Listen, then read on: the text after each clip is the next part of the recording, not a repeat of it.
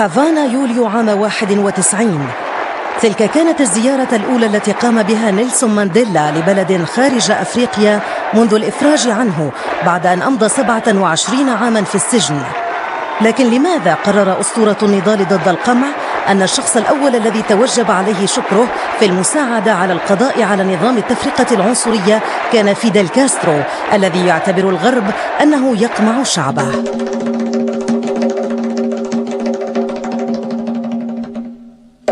شارك فيدل كاسترو و500 ألف كوبي في الحروب الأفريقية التي قضت بالنهاية على الاستعمار.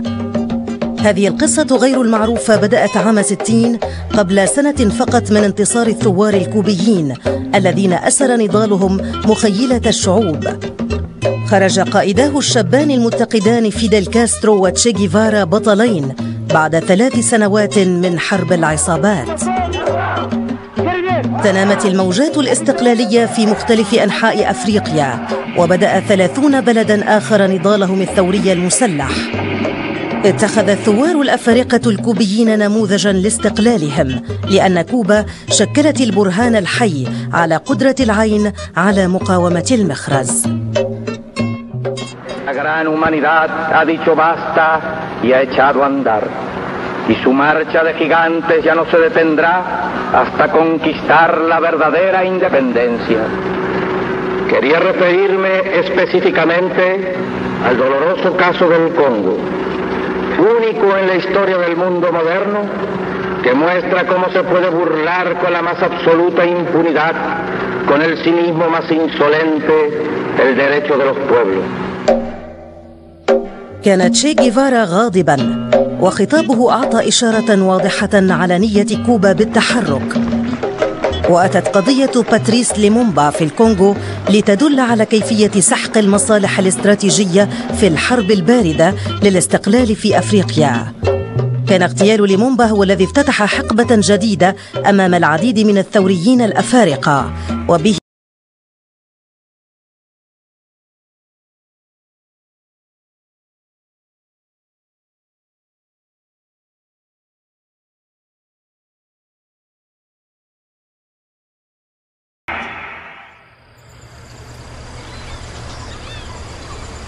الكونغو أحد أكبر وأغنى بلاد القارة. كانت هذه المستعمرة البلجيكية تطالب بالاستقلال الفوري وترأس باتريس ليمومبا الموظف الفصيح الشاب الحركة التي تفاوضت من أجل حل سلمي لإنهاء الاستعمار البلجيكي. في الثلاثين من يونيو عام 60 وصل الملك بودوان إلى كينشاسا اليوم أو ليوبولدفيل سابقا تيمنا بعم أبيه وذلك بهدف تسليم السلطة Le roi Baudouin était dans une voiture découverte. Il saluait la foule, etc. Un Congolais s'est précipité sur la voiture. J'ai vu les, les gardes du roi dégainer. Et tout le monde avait peur, se disait il va tuer le roi. Non, il a simplement sorti l'épée du roi de sa gaine. Et il s'est mis à danser avec cette épée. Euh, c'est très symbolique ça. C'est comme s'il lui a arraché le pouvoir. يوم إعلان الاستقلال احتشدت كل الشخصيات في البرلمان بانتظار إعلان الملك بودوان انتقال السلطة إلى الحكومة الجديدة كان قد انتخب باتريس ليمومبا رئيسا للوزراء لكن فرحة الاستقلال لم تدم طويلا ففي اليوم ذاته أشعل ليمومبا نارا انتشرت في كل أرجاء القارة L'indépendance du Congo constitue l'aboutissement de l'œuvre conçue par le génie du roi Léopold II. À ce moment-là, Lumumba se lève, qui n'était pas programmé comme devant parler à ce moment-là. Il se lève et il parle. Il fait un discours très militant. Combattant de l'indépendance, aujourd'hui victorieux, je vous salue au nom du gouvernement congolais. Nous avons connu les ironies, les insultes, les coups que nous devions subir matin, midi et soir parce que nous étions des nègres. Rappelez-vous comment on traitait le blanc par rapport au noir. Rappelez-vous dans les écoles quelle place nous occupions. Rappelez-vous tout l'apartheid. Alors évidemment, réaction immédiate de toute la délégation belge. D'abord, beaucoup d'agitation pendant que le Mumba parle. Qui oubliera enfin les fusillades où périt tant de nos frères, ceux qui ne voulaient plus se soumettre au régime d'injustice, d'oppression et d'exploitation? C'était mal reçu par les Belges, mais nous, nous avons tout à fait répondu à nos, à aspirations.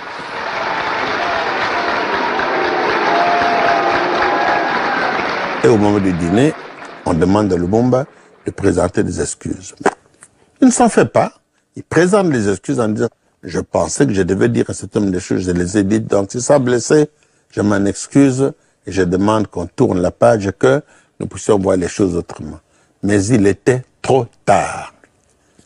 La majesté était lésée.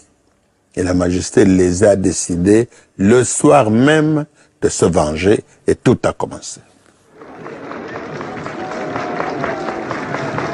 أراد ليمومبا أن يحكم باستقلالية إنما لم يكن في الكونغو سوى ثلاثين خريجا جامعيا لذلك اتفق على استمرار البلجيكيين بإدارة المؤسسات المهمة للسنوات الخمس التالية بما فيها الجيش.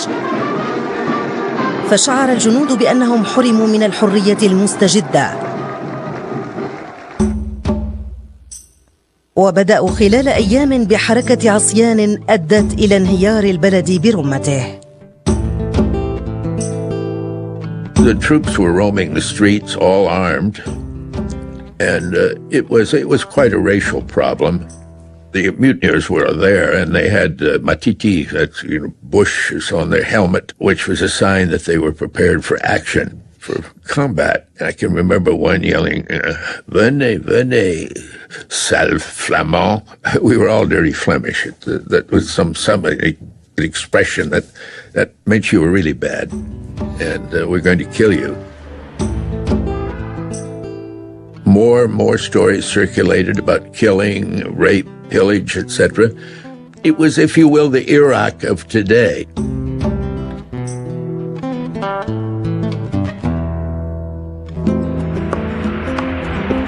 Le 10 juillet, le 10 juillet, retenez bien la date, les militaires belges ont occupé l'aéroport de Njili, ici ils ont organisé l'agression du Congo en disant, puisque les militaires congolais mutinés se sont attaqués aux femmes, aux enfants et aux officiers, la Belgique n'avait plus aucun autre moyen de protéger ses ressortissants que de faire venir des troupes belges le 10 juillet. Dix jours après, لجأ ليمومبا مباشرة للولايات المتحدة لتدعمه فلم يسبق لها أن كانت قوة استعمارية وبدأ أن مبادئها الديمقراطية تملي مساندة الشعوب الساعية للاستقلال. وفيديل كاسترو نفسه كان قد اختار الولايات المتحدة كمحطة أولى ليستمد الدعم بعد أن انتصرت ثورته قبل سنة واحدة. إنما على غرار ليمومبا فإن موقف كاسترو لم يرق للأمريكيين. I was in the lobby of the embassy when this little Congolese clerk came in and he said he wanted 24 visas. He didn't know what a visa was. I said, Well, do you have passports to put the visas in? Uh, no, patron. Uh, he, he, didn't. So I, I explained to him what a visa was. And I said, Why do you need 24? Well, he said, uh, Lumumba is going to the States to see President Eisenhower. I said, Oh, that's interesting. Told the ambassador. He said, I'm not aware of it. So uh, he checked, and Eisenhower said, now I said, Well, if he comes, I'll, I'll be here.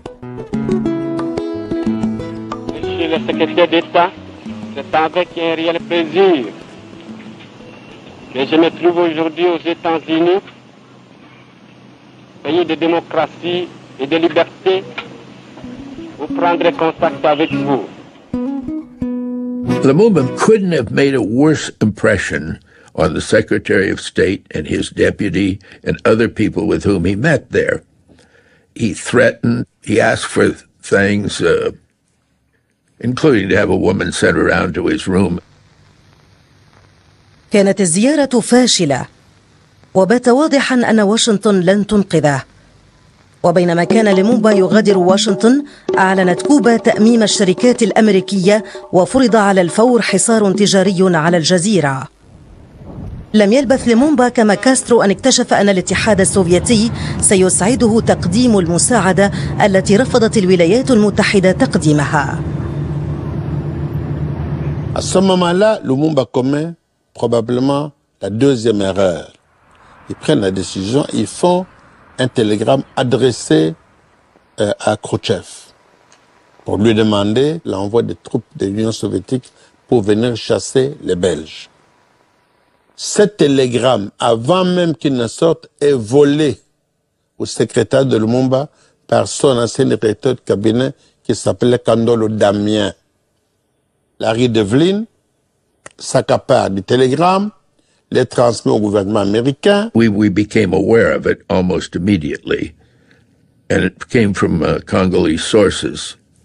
Uh, that immediately alerted the Americans. I became wide eyed at that. I said, ah, we have a problem here. He tried to play off the West against the East. Uh, it's an old game, but it was relatively new at that time in Africa. Mais Larry Devlin l'a pas pris comme ça, il l'a pris pour dire voilà, la preuve est là que le monde communiste n'est pas conséquent. Outre le fait qu'il a insulté le roi des Belges, il est communiste, donc il faut le chasser du pouvoir. Третий мир в этой войне был полем, так сказать, для охоты. Перевели вам? Полем для охоты. Почему? В Европе границы были забетонированы. Перейти границу означало начать атомную войну, которую никто не хотел. А третий мир, он был как будто без хозяина. Там была возможна свободная охота. Там можно было приобретать влияние.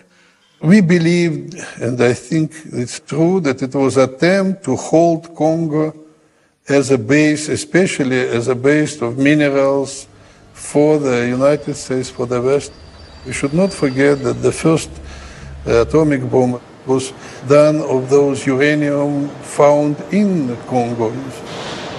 There are only two countries in the world that supplied cobalt at that time, Soviet Union and the Congo.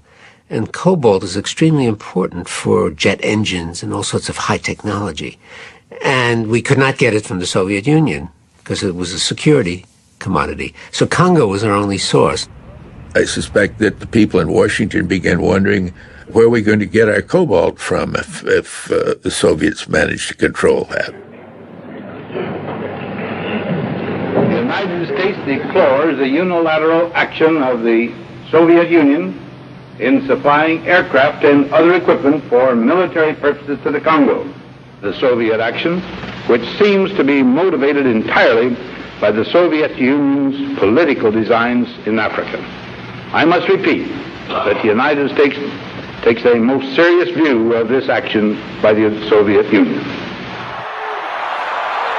استشاط ايزنهاور غضبا ازاء الدعم السوفيتي المعادي لخصومه وقد وصلت المساعدات العسكرية السوفيتية إلى الكونغو بعد شهر واحد على وصول أول شحنة أسلحة سوفيتية إلى كوبا. ولمفاقمة الوضع أعلن كاسترو بالفم الملآن عن نيته استخدام تلك الأسلحة لتصدير ثورته فقرر أيزنهاور تحريك ال CIA.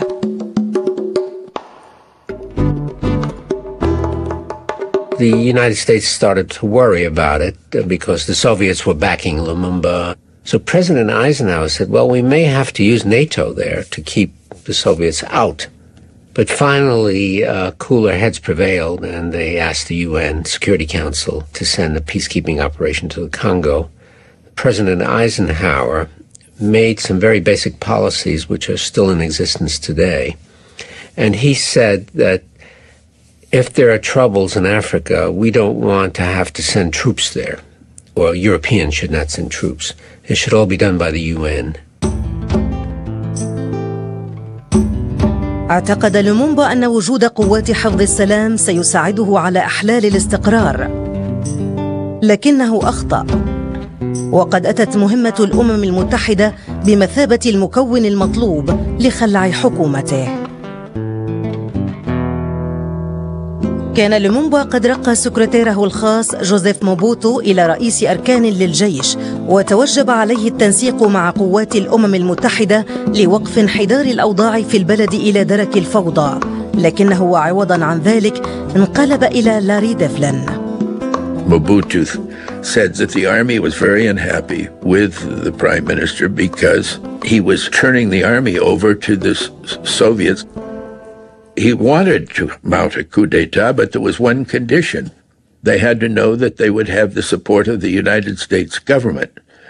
I had tried and failed to achieve by legal means what they wanted the United States government wanted. So I stood up and shook his hand. Finally, it took me a while to do this and said, I guarantee you the support of the United States government. And uh, the coup, he said the coup will take place within a week, and it did. UN troops were supposed to protect the independence of Congo, but they would not allow the Congolese troops, which were loyal to Lumumba, to operate the mission of the United Nations troops was misused to topple the regime of the government of Lumumba, or at least not to protect Lumumba. Les troupes des Nations Unies ici vont encercler la résidence du Premier ministre. Sans aucun mandat, sans aucune autorisation, il y a une crise interne, les Nations Unies s'interposent et vont mettre le Premier ministre en résidence surveillée.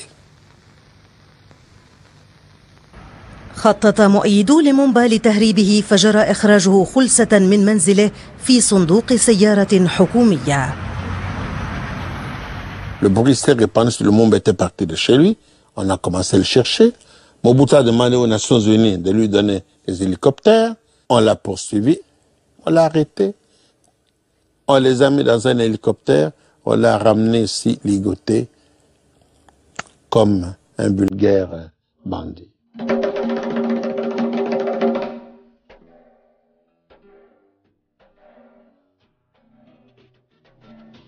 بناء على أوامر من موبوتو أرسل لومومبا إلى حتفه بعد ستة أشهر تقريبا من احتفال الكونغو بالاستقلال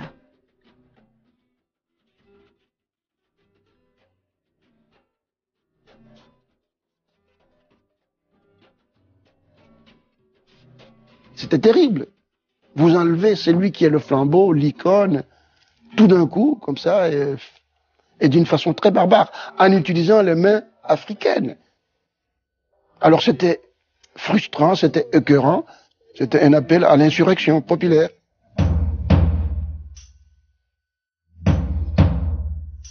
Il faut venger cela. Ce pays est à nous et je vais me battre pour lui. C'était l'étincelle qui m'a fait conduire sur le chemin du maquis, de la guérilla. وكان للارتدادات الوقع الشديد في كوبا حيث يتحدر السواد الأعظم من مواطنيها من جذور كونغولية كما روع النبأ القائدين الثوريين الشابين فأعلنت الجزيرة الحداد الرسمي ثلاثة أيام تكريما لذكرى لمومبا.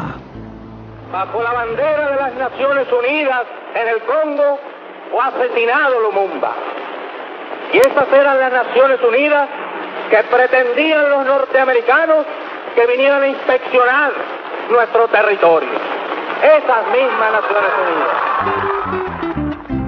لقد شاطرت كوبا السعي الثوري الأفريقي ذاته لتحقيق الاستقلال الحقيقي. وما حل بلومومبا كان يمكن أن يتكرر في أي مكان في حال السكوت عليه. وهكذا قرر فيديل كاسترو أن كوبا لن تقف مكتوفة الأيدي لذا انطلق تشي غيفارا بجولة أفريقية لشهرين بغية تقديم سبل مساعدة حركات التحرير المحلية.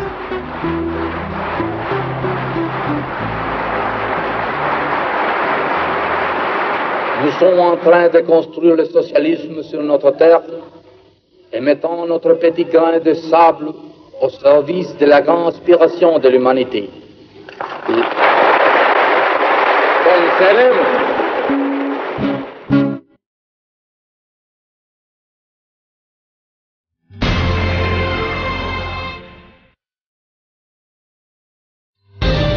اسطنبول عايش كل مكان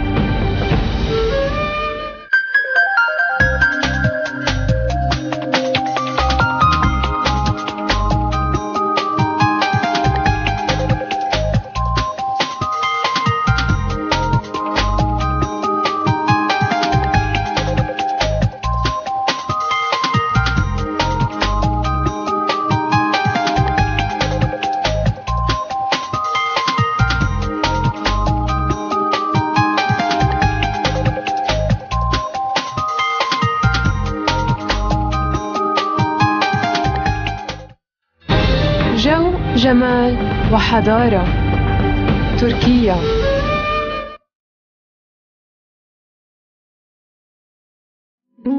لقد أخفى الظهور العلني المتكرر لجيفارا الهدف الحقيقي لمهمته. فقد وضعت خطط التدخل المستقبلي لكوبا في أفريقيا أثناء اجتماعات سرية مع حركات تحرير مسلحة من أجزاء مختلفة من القارة. لكن تشي لم يعلق اماله على تمرد انصار لمومبا لان كابيلا ورجاله سبق وسيطروا على ثلثي الاراضي الكونغوليه. Je suis contacté par l'ambassade de Cuba qu'il y a euh, une haute personnalité cubaine qui vient d'arriver qui aurait bien voulu avoir contact avec nous pour s'entretenir avec les leaders du mouvement de libération. Je me pointe à l'ambassade de Cuba je suis en face d'Ernesto Che Guevara. Je me suis pincé moi-même, je dis est-ce que c'est vrai ou je n'en revenais pas. Pero no porque él confiara que el Congo iba a ser la base de la cual iban a irradiar las columnas para independizar al África. Está seguro de eso. Independientemente de la frontera.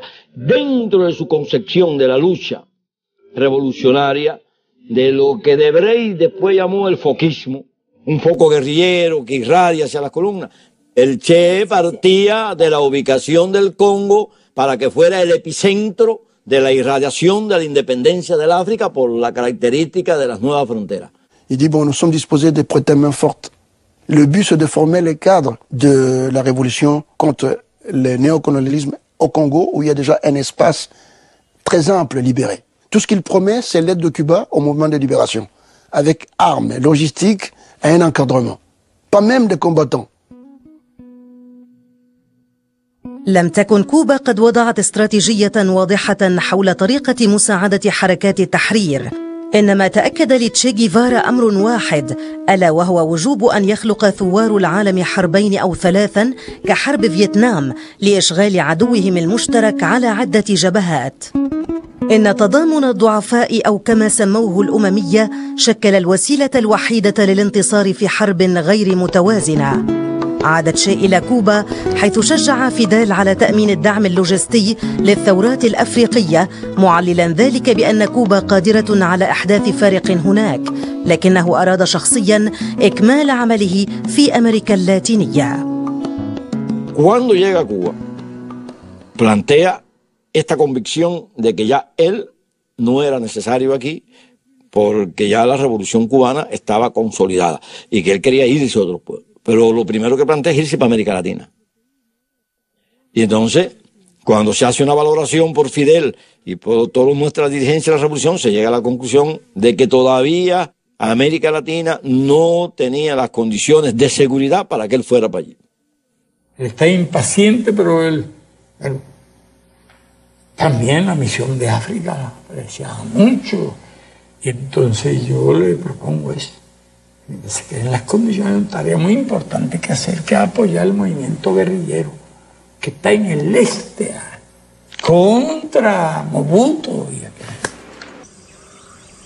جرت عمليات التدريب السرية طيلة أشهر في أعماق الغابات الكوبية كان الجنود على علم بأن المهمة المرتقبة في الخارج لكنهم لم يعرفوا أين ولا متى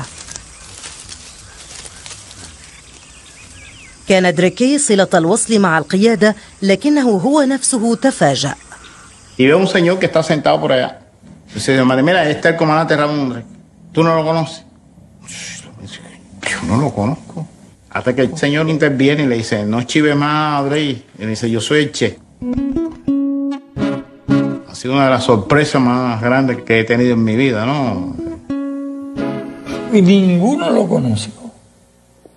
Fíjate si estaba de verdad indiscutiblemente fueron muy capaces nuestra gente. Y él eh, va entonces a un lugar de Pinal de Río. Tenía una casa ahí. Y ahí donde se organiza. Él escogió la gente. Él quería. Y ahí sí enviamos un buen refuerzo con el Fueron alrededor de 150 hombres. Bien armados. Y con una experiencia Eso era vital para la revolución, que nadie conociera que era el Che. El Che, igual que Fidel y Raúl, son de los dirigentes más buscados por los terroristas internacionales, por el imperialismo yanqui para asesinarlo. كان تنكر تشي جيفارا أكثر إتقانا وهبط مع رجاله الأربعة عشر في تنزانيا من دون سابق إنذار فقد توجب التكتم على وجود تشي فلم يكشف عن هويته حتى لأنصار ليمومبا الذين أتوا للمساعدة on m'appelle, j'étais seul. On m'appelle, voilà, le groupe d'instructeurs cubains est arrivé. À la tête se trouve euh, le commandant Victor Drake, qui est un spécialiste du maquis. J'étais très impressionné. Et je suis devant Che Guevara, déguisé. Je ne le reconnais pas. نقل الكوبيون بواسطة الزوارق إلى خطوط أنصار ليمومبا الشرقية على الضفة المقابلة لبحيرة تنغانيكا. En medio de la noche, muy, una noche muy oscura, sin mapa, sin una brújula, y ellos que sabían, y por ahí para allá, Y el barco acá empieza a coger agua, empezamos a botar agua a todo el mundo, ahí a botar agua, a botar agua, porque no sabíamos, no se veía la orilla, y aquí no se va a salvar nadie. Para, y ellos encendiendo luces en medio de la noche para sacar el agua, y el Che gritando que no enciendan las luces, y nosotros gritando y no nos entendían. وصل الكوبيون إلى شرقي الكونغو معتقدين أن رجال كابيلا يسيطرون على ثلثي أراضي البلد لكن الوضع تغير دراماتيكيا عما كان عليه لدى اجتماع تشي بقادة أنصار ليمومبا قبل أشهر قليلة. ففي تلك الأثناء غير عدد من أنصار ليمومبا ولاءهم فأصبح كليوفاس كاميتاتو وزيرا للداخلية تابعا لموبوتو وقضت مهمته بسحق التمرد. Nous avons organisé une opération de récupération du pays en utilisant l'armée, les mercenaires recruter. Seule la définition classique de mercenaire, il va au plus offrant. Qui leur a offert? C'est les États-Unis qui ont offert l'argent par Mobutu interposé aux mercenaires pour qu'ils viennent combattre la rébellion. C'est les États-Unis. C'est Larry Devlin qui a dépensé tout l'argent pour empêcher la rébellion de gagner.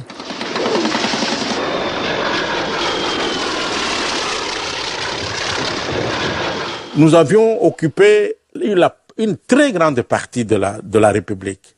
En avril 65, nous, nous venions de perdre presque tous nos grands centres. Il nous restait des poches à l'intérieur. Et il fallait nous réorganiser. C'est en somme au moment où nous, nous venions déjà de subir un grand coup sur le plan militaire que nous, nous aurons alors l'information maintenant de l'arrivée des camarades cubains. غرق كابيلا في الانقسامات الداخلية بعد الهزيمة النكراء وعندما وصل الكوبيون إلى مناطق المتمردين لم تكن الأولوية لتنسيق النشاطات العسكرية معهم Alors, Che m'interpelle. Il me dit, écoute, et je vais te dire une chose. Rentre, va dire à Kabila, je suis Che Guevara et je l'attends ici. Et moi, j'ai dit, mamma mia, je dis, ma... Que fue cuando él empieza a gritar allí, escándalo internacional, sale de la, de la cabañita, de la barraca aquella con las dos manos puestas en la cabeza, escándalo internacional, escándalo internacional, y dice, cállate, cállate, pero no que cállate, gritando por todo aquello, parecía que tenía un, un león detrás. J'ai eu peur, j'ai eu une sueur froide le long de la colonne vertébrale. J'ai dit, ce n'est pas vrai. Quand je suis arrivé à Dar es Salaam, Kabila venait d'arriver du Caire, je l'ai raconté, et j'ai supplié Kabila d'aller rejoindre. il a blêmi avec sa face noire. Il, a, il était cendreux, il n'en revenait pas. C'était une grande responsabilité de cette personnalité, de l'envergure d'Ernest Che Guevara. L'inquiétude, c'était que si ça venait d'être connu par les Américains qu'Ernest Che Guevara est au Congo, que tout allait être déversé sur le Congo. Mais nous étions contents que les camarades soient là. Mais pas, mais pas lui, pas, pas, pas Che. كان الهدف المقرر من قوة تشي مساندة الثوار لكنهم كانوا مشتتين لذا أمر الكوبيون بملازمة المعسكر حتى إشعار آخر. وسرعان ما أدركوا الفجوة الثقافية الواسعة بينهم وبين الأفارقة.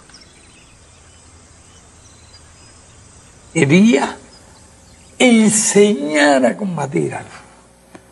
Esto un obstáculo muy grande, le faltaba esa cultura, que la que yo digo cuando adquirían seguridad, extraordinarios soldados. En el movimiento revolucionario africano, aquel movimiento, estaba todo por hacer. La experiencia, la preparación, la instrucción. Y fue una tarea dura. On pouvait dire qu'on n'avait pas de troupes, parce qu'ils s'étaient désorganisés. Nous, normalement, on ne savait pas même pas des armes. On tirait, c'est tout. Euh, cela veut dire que je prenais une arme, je tirais devant, c'est fini. Sans direction de tir, sans une instruction. C'est chargé, tirer devant. Et là même, il fallait aussi euh, euh, avoir peur, parce qu'une balle de ton copain pouvait te prendre si tu n'allais plus devant, comme il, il ne savait pas la discipline de tir. Ya, y había que encarar el fusil, fue muy difícil para persuadirlo porque eh, eh, había un hábito, no sé por qué, yo pero no podían cerrar un ojo para buscar el ojo directriz, no lo podían hacer. Entonces había que taparle para hacer trinchera. Teníamos ese problema también, porque nos aducían que la trinchera era un hueco y que el hueco era para los muertos. Por lo tanto, que ellos no se metían en la trinchera. كانت الاتصالات صعبة وبدأ الكوبيون يصابون بالأحباط وفي يونيو قبل فترة قصيرة من ذكرى استقلال الكونغو وصل مرسال حمل تعليمات بمهاجمة ثكنة معادية كبيرة في فورت بانديرا ما شكل منعطفا لمجرى الأحداث Había que atacar ese día. Vamos a atacar, vamos a hacer otra emboscada, vamos a atacar otro lugar con eso y sorprender. Dice, no, bandera. Entonces, Che no le quedó más remedio desde el punto de vista político de aceptarla, porque era, estábamos allí y era una negativa en el único momento que ellos venían a pedir que le hiciéramos algo y decirle que no. a las 5 de la mañana, hora de aquel país, empezamos eh, a tirotear el cuartel a fuego rasante contra el cuartel. Esa era la señal de- del ataque. Empezó el ataque. Ellos inmediatamente respondieron. Fue rapidísimo respondieron. إن الهزيمة في فورت بانديرا ومقتل أربعة كوبيين قوض السرية التي جهد الكوبيون كثيرا للمحافظة عليها Cuando los compañeros salen de Cuba, a todos se le cambió la ropa. Nadie podía llevar nada que tuviera que ver con Cuba. Y hay un compañero que lleva un calzoncillo que decía hecho en Cuba, que es uno de los compañeros muertos. Lleva un calzoncillo, cuando lo cogen, aparece un calzoncillo hecho en Cuba, aparece la característica, se percatan de que no son, no son africanos. There were rumors that there was a man known as Tatu who was Cuban. Che Guevara had disappeared from Cuba. So it, could it be? Well, I suggested to Washington this must be the case, and they told me I was out of my mind. Go along. Don't, don't waste your time with ideas like that. But we did, because I had some people that were, uh, shall we say, in contact with the rebels and working with them part of the time and part of the time against them. What we did, we did pictures of Che with beard, without beard, with mustache, no beard, with beard and mustache, Che with glasses, Che without glasses. And we showed them to these people. And one, I don't remember which combination it was, it came up with, ah, that's tattoo.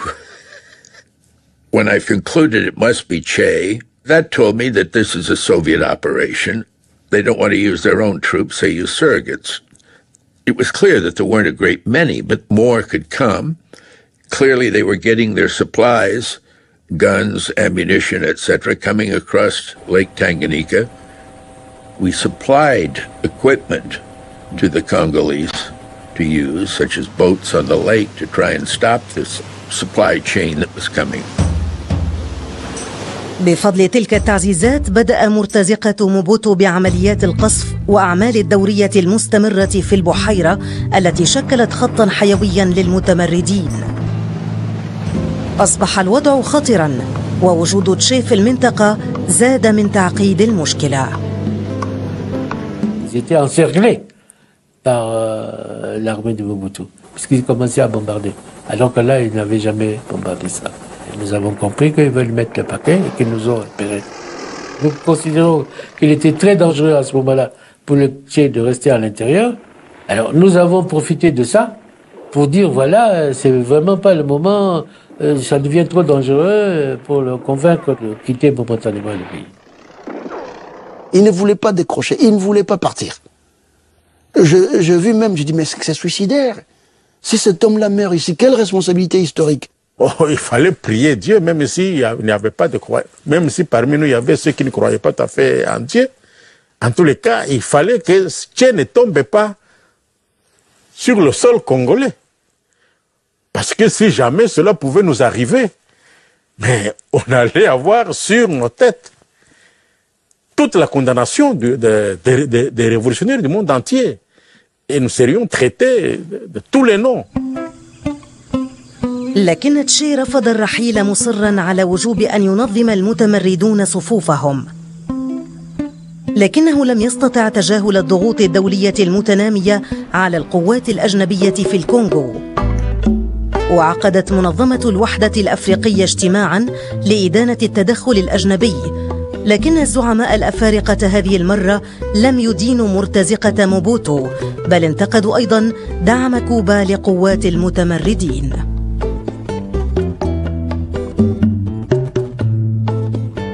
Fuimos ahí a hacer la guerra, nosotros fuimos a ayudar a hacer la guerra. Nosotros no fuimos a, a- ni fuimos invasores, ni, éramos mercenarios, ni fuimos a hacer la guerra. Nosotros fuimos a ayudar al movimiento de liberación, enseñándole a sus hombres y después incluso combatiendo junto con ellos. Pero si ellos no están dispuestos a combatir, Además, fue una cosa eh, muy, muy dolorosa, ¿no? Esta, esta situación. La gente cuando venía, veníamos pensando todos, ¿qué dirá Fidel? Ese era, ¿Qué dirá Fidel? Todo el mundo dice, coño, ¿qué dirá el comandante jefe? ¿Qué dirá el comandante jefe? Porque tenía una confianza absoluta en, en el triunfo, como, como Fidel. Más, como el comandante que teníamos enfrente, el Che, no, había otro mejor.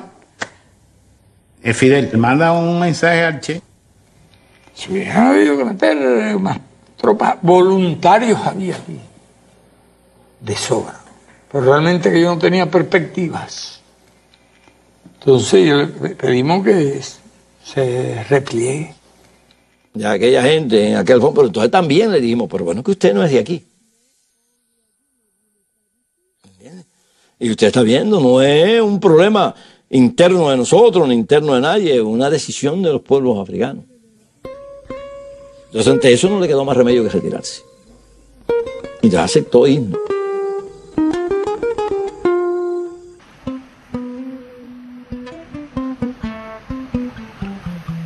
Y le dijo que habíamos perdido una batalla, pero que no se había perdido la guerra. Quedaba mucho que hacer por la independencia de los pueblos y que esperaba que todos nosotros hiciéramos algo. Y que estuviéramos con ese espíritu de combatividad, de internacionalismo.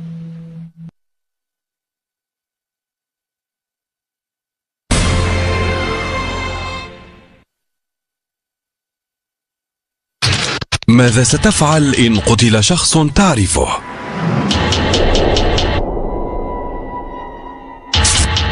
عدم القيام بأي شيء.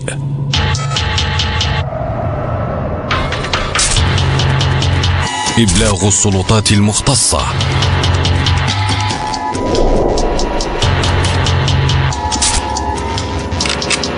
أن تأخذ ثأره بيديك.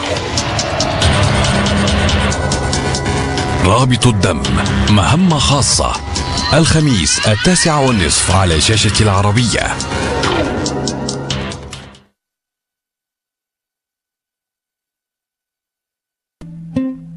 منيت مهمة تشي في الكونغو بفشل ذريع. لكن هذا لم يزعزع تصميم كوبا على الاستمرار بدعم حركات التحرير.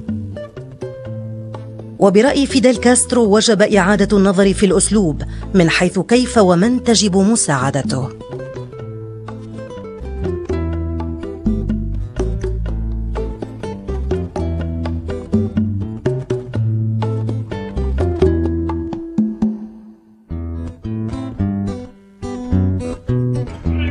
يناير عام 66 وبعد شهرين فقط على انسحاب تشي من الكونغو استضافت كوبا تجمعا غير مسبوق ضم كل حركة ثورية مسلحة من أفقر ثلاث قارات.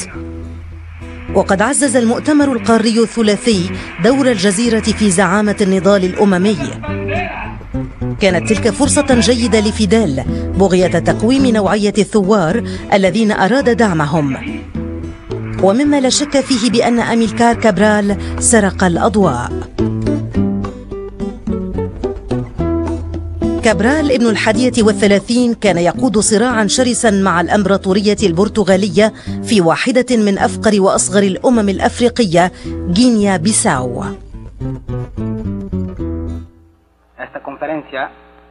Aquí en Cuba, territorio libre de América, y primer país socialista en el hemisferio occidental, es en realidad una grande promesa, una grande esperanza para todos los pueblos que luchan contra el imperialismo. Pero ya había una, un antecedente de América cuando se había entrevistado en el recorrido que hace el Che por distintos países que llega a Conakry, tiene la oportunidad de hablar con América. Y el Che dice que uno de los movimientos de liberación más serios que hay en ese momento y de más posibilidad en ese momento es el movimiento de la liberación de la colonia de Guinea-Bissau y Cabo Verde.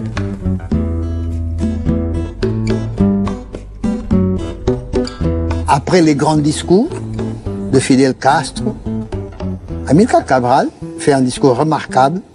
Il a caractérisé, je m'appelle ça, très bien la situation en Afrique en partir de son propre pays, en parlant des ethnies, en parlant d'états de, de pauvreté, d'exploitation, pour justifier euh, l'idée de continuer la lutte armée, c'est parce qu'il n'y avait pas autre voie. Parce que les grandes puissances s'opposaient à, à l'indépendance des colonies portugaises, par exemple. لم يسفر كفاح أميلكار لسنوات عن أي نتيجة لكن عندما بدأ الثوار يستولون على الأراضي فجأة تجلت أهمية هذه المستعمرات المهملة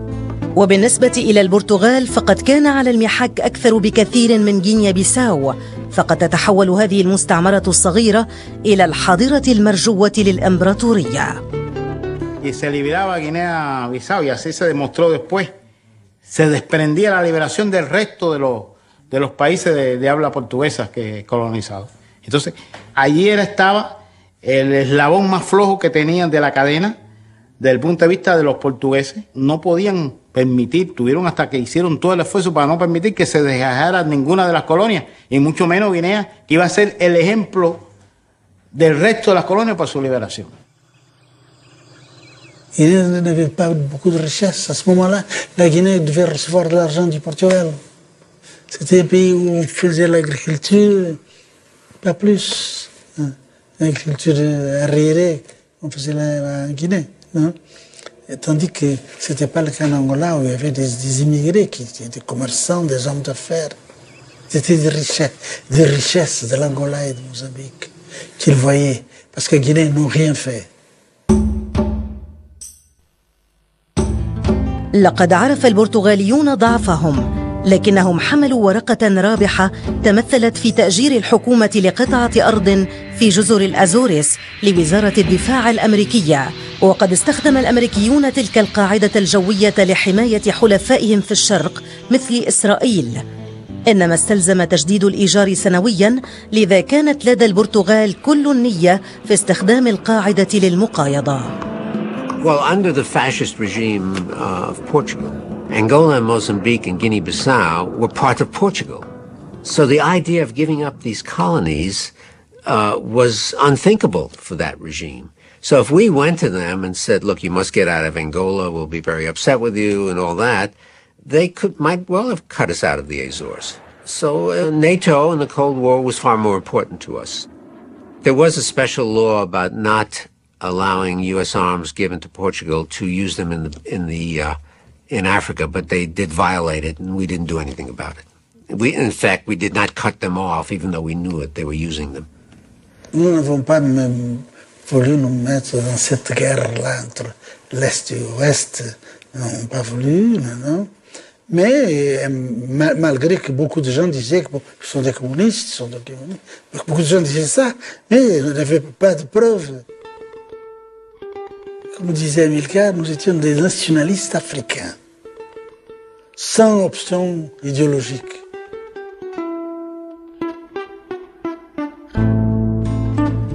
علم أميلكار أنه سيكون من الصعب عدم وصم حركته ووجود المقاتلين الكوبيين لم يساعد في دحض الاعتقاد بتحالفهم مع الكتلة الشرقية إنما كانت لديه رؤية واستراتيجية واضحة حول كيفية خوض معركة الاستقلال.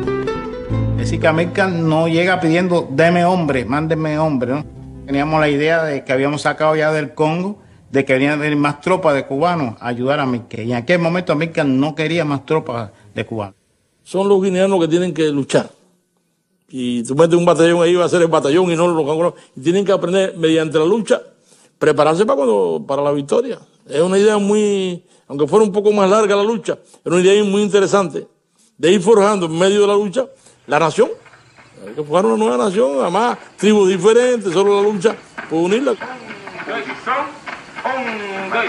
كان جرح هزيمة تشي في الكونغو لم يزل حيا فبدأ فيدال يفكر بطريقة لتعزيز فعالية مساعدته فأتى هذه المرة القوام الأساس للدعم الكوبي على شكل خبراء مدفعية وأطباء وتقنيين وما كان للجنود أن يتدخلوا إلا عند الضرورة They also took some lessons from the debacle in Congo. In Guinea-Bissau, the involvement was quite different. It was more of, in a good sense, technical nature of helping local forces of PAGC, the army, especially helping in those specialities when they hadn't, hadn't got enough expertise, you see, to fight Portuguese. So it more of, in the good sense, supportive role, you see.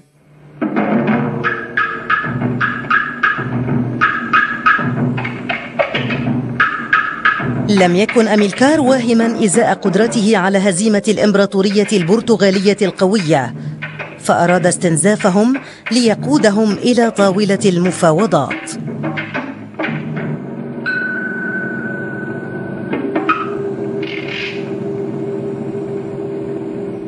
En la conversación que tiene Amícar conmigo, en el, en el frente, él me explica, esa se basaba en no atacar los cuarteles con intenciones de tomarlo, porque no había suficiente fuerza ni condiciones en ese momento para eso.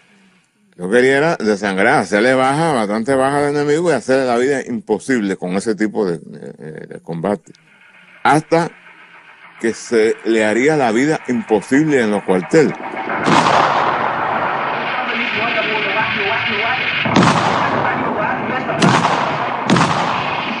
شهدت الحرب تصعيدا فأرسل البرتغاليون 22 ألف جندي. نجح تكتيك أميلكار بضرب معنويات العدو فشعروا بأنهم عالقون فقرر القادة المخضرمون بالجيش الاستعماري في غينيا بيساو أخذ المبادرة. فهم الذين قلبوا النظام الديكتاتوري وقادوا الثورة في البرتغال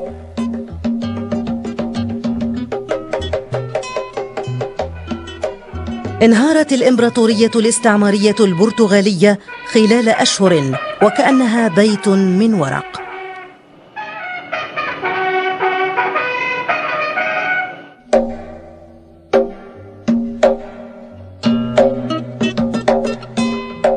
In every this liberation movement, there was no military victory. Never. And they did not destroy the colonial machine, but they created, even vis-à-vis Algeria and France for that matter, they created such a situation that before getting victory, they oblige, they force the enemy to retreat, to come to some compromise. Usually it's uh, in the form, it's compromise. In the essence, it's the victory of the liberation forces. That's exactly happened in each and every country.